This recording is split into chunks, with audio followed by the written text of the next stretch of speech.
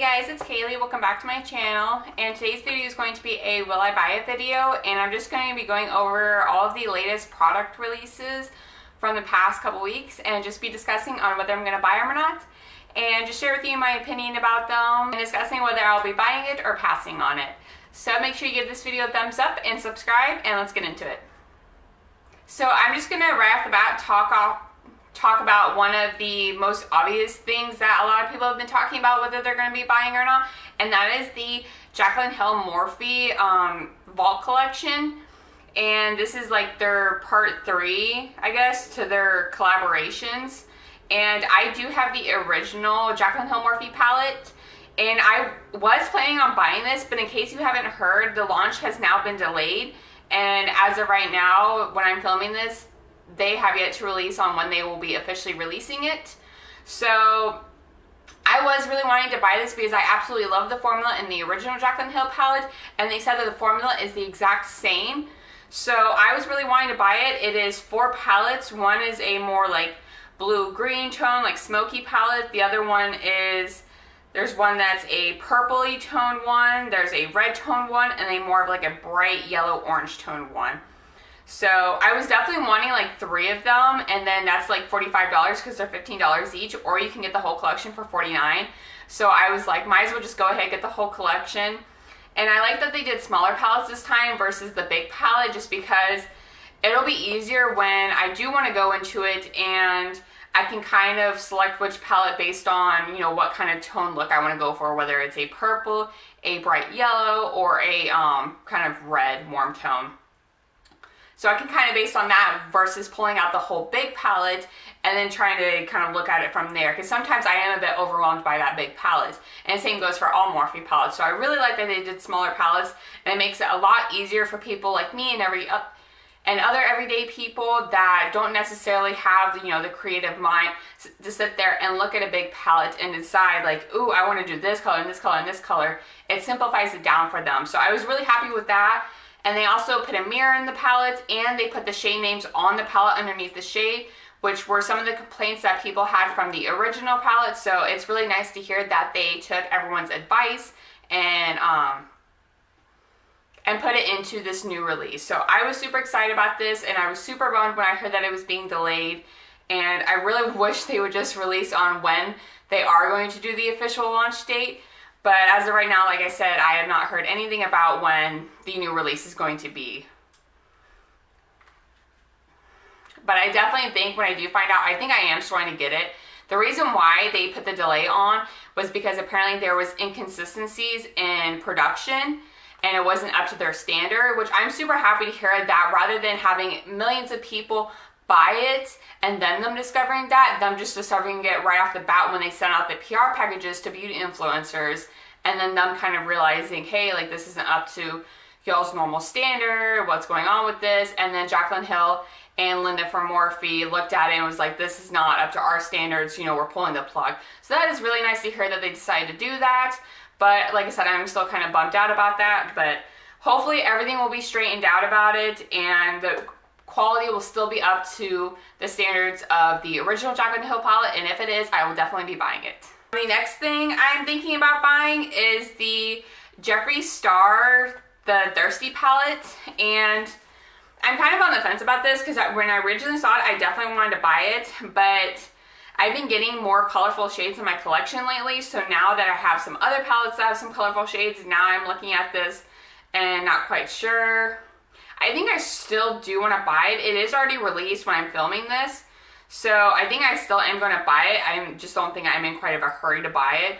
So I think I am still going to get it. I'm not sure when, but I think like if I am making a purchase off the Morphe website or the Jeffree Star website, I think I'll definitely throw it in my cart because Jeffree Star Cosmetics is sold on the Morphe website and in Morphe stores. But that palette retails for $48 and like I said, I believe it was already released. Um, I know there's a lot of palettes that I'm talking about, but that's kind of what interests me. But the next thing I want to talk about is the Dominique Cosmetics Lemonade palette.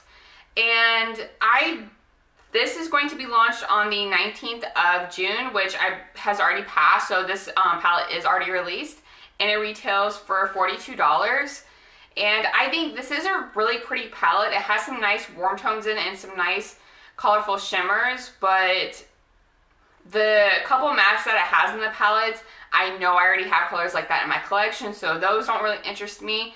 And I don't know, I just don't get too excited about shimmers. Mattes, like like beautiful, colorful mattes is what really excites me. Every now every now and then I'll get excited about a nice shimmer, but it's not too often. And when I take out the mattes out of that palette, everything else just kind of looks really similar and not too colorful and exciting. So I do think I'm going to pass on this one. Another palette I want to talk about is the Violet Voss, Violet Voss Flamingo palette. And this will be out. I still don't, they probably have a launch date out, but last I saw it just said mid-July was gonna when it was gonna be released, so it's not out yet. And it'll retail for $45, just like their normal palettes. Um, and when I first saw the picture of this, I definitely did want to get it. I will admit that. I did want to get it. But like I said, when I when I take a look at each individual shade, I see a lot in there that I know I already have. Like all the mattes I know I have. There's just a few, you know, colorful blue shades and some colorful like pink and purple shades that I don't have. So I'm still on the fence about this a little bit, but I think I might pass on it. I may change my mind later on down the future. I don't believe this is a limited edition palette. So maybe I'll change my mind later on in the future, but as, a, as of right now, I don't. I think I'm just gonna kind of save my money on this one. Lately, I've been really, when I'm looking at palettes, I've been really trying to be very more, a lot more picky about what I choose to buy just because I do have a larger palette collection. So a lot of, I do have a lot of shades that are in these newer palettes I already have in my collection. So I've been trying to just really be picky about it unless it's like a launch or a brand or a formula that I'm super excited about, then I'll get it. But other than that, I've been trying to be really picky about it. And kind of going along that same lines, the Urban Decay Born to Run eyeshadow palette, when I first saw it, I was like, yes, this is right up my alley. This looks beautiful. Definitely gonna get this. But then after that initial reaction, I kind of really looked at the picture and was like, is there anything truly special about this palette? Do I have any, do I not have any of these shades in my other palettes? So I kind of kept looking at it and it is just a more generic warm tone neutral palette. So there's nothing really too special about it. So I do think I'm going to pass on it. Like I said, maybe one day down the line, I might change my mind. I don't know. But as of right now, I don't think I will be getting it just because it's not too special. And then same goes for the Melt Cosmetics 27 palette that they just um, announced. This will be released on June 27th. And this, this honestly, this looks so similar to the Naked Heat palette. And I don't even have that palette in my collection just because when that palette came out, I was like, everything looks so similar. I have so many similar shades in my collection. So I passed on the Naked Heat one and this looks completely identical to it pretty much. So I definitely think I'm gonna pass on this one. It's just a simple warm tone neutral palette and it's nothing really special. I did want the, the Gemini palette that they came out with like the other month. I did really like that one and I want, I like, I would have gotten that one. I wanted to get it, but they had that one so limited edition for so little time. Like as soon as they were sold out, that was it. They weren't coming back with it, which that's really like, honestly, like in my opinion, that's horrible of a company to do that because it's like, I understand when things are limited edition, but when you hype it up so much and it sells out so fast and you have no plans of restocking it at least once, that's kind of like a lot of people that wanted that palette, such as myself, probably just got screwed out of that. I usually, when it comes to new releases, unless it's like something I'm uber, uber excited about and I don't want to miss out on, I will not purchase a palette right when it's released. I will usually kind of wait watch some reviews, wait to see what other people's feedback is, and if the hype, hype kind of dies down and I'm still not excited about it, I'll just kind of move on. I won't really get it. Maybe later on down the future, whatever. Or if, like I said, it the hype does stay, everyone does enjoy it, and all the reviews are good about it, and I'm still wanting it, then when it usually, after it sells out and comes back in stock, then I'll get it. But with Melt Cosmetics, with that Gemini palette, they just, after it sold out, that was it, gone. Which is kind of sucky for, like I said, people like me that I'm, I was waiting on people to review it and talk about it and hear some, you know, feedback on it if it was truly worth, because that was an expensive palette. I believe it was like $56. So to truly spend like $56 on a palette, I want to make sure it's going to be good and worth my money. And so therefore I need to wait for people to do reviews on it. But by the time those reviews come up, the palette's sold out and never to come back. So that's just my opinion and I think that really sucks. And I believe that's, oh no, I have one more palette. And it is the Fenty Beauty. This is the Moroccan Vibe palette. It's some nice like dusty rose tones. It is really pretty. I'm not exactly sure on this one just because I know I've never I don't think I've bought anything from Fenty Beauty yet. Yeah, I don't think I've bought anything from Fenty Beauty. Um, this palette does look nice. It doesn't scream at me too much and give me too much inspiration. Like I see a few looks I could get out of it, but I don't know. It's just not giving me too much inspiration. So I don't think I'm gonna get on this. Like I said, maybe down the line in the future if I see it and it starts sparking some interest in me and some inspiration, I might pick it up. But as of right now, I think I'm gonna pass on that. I feel like I'm being really negative in this video. So far there's like only two things I'm planning on maybe getting. Um, all right, let's move on from, okay, there's one more palette, but it's, not, it's a face palette. This is um, the Glam Glow, what is this called? The Glow Powder Highlight Palette, I think it's called. It's infused with hyaluronic acid. And it says it's available now. This kind of, this does kind of spark my interest a little bit. I don't think it's worth me placing like an online order for it, but if I'm in Sephora and I see it, I might grab it. But it's really pretty. All the shades, most of the shades, it looks like I would be able to use. So, and I have dry skin, so I love anything that has hyaluronic, hyaluronic acid in it. So I'm actually really excited about that. So I definitely think I might be picking that up. All right, next thing is the Huda Beauty setting powders. Um, I'm just. I'm not getting these. I do not get excited about setting powders unless there's like something majorly different about them.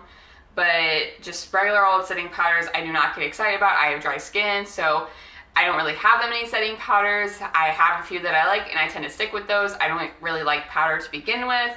Like I said, because I have dry skin, so powders do not excite me whatsoever. So I am completely passing on this one. Um, the next thing I'll talk about is the Urban Decay Lip Mousse.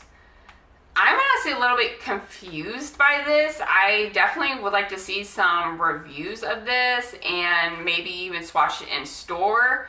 But as of right now, I don't think I would be planning on getting this. Like I said, unless the reviews are like, this is the best lip product ever, or I swatch it in store and it feels like so nice and creamy. Like, I don't know. I'm honestly just, like I said, a little bit confused by this. So I honestly, I can't say right now that I would be getting these, but if for some reason the reviews end up being great or I swatch it in store and it feels beautiful, I might pick it up then, but as of right now, I don't know. Um, the Chrissy Teigen um, and Becca Cosmetics collaboration, I don't think I'm gonna get even the highlight, definitely not the body glow because I just don't like paying for high-end body glows. I don't think they're worth it. I just like mixing like a liquid highlighter into my lotion and that works perfectly fine. So I'm not going to get the body glow. And then the highlight that they revealed, it looks pretty, but I could only really use the top, maybe that middle shade, but definitely not that bottom shade. Um, this does definitely look like something meant for more deeper skin tone, which would make sense because Chrissy Teigen has deeper skin tone. So that makes sense, but I don't know, it's just a highlight. Becca has so many highlighters. I know what I like in a highlight, and these don't really have that, so I think I'm going to be passing on that.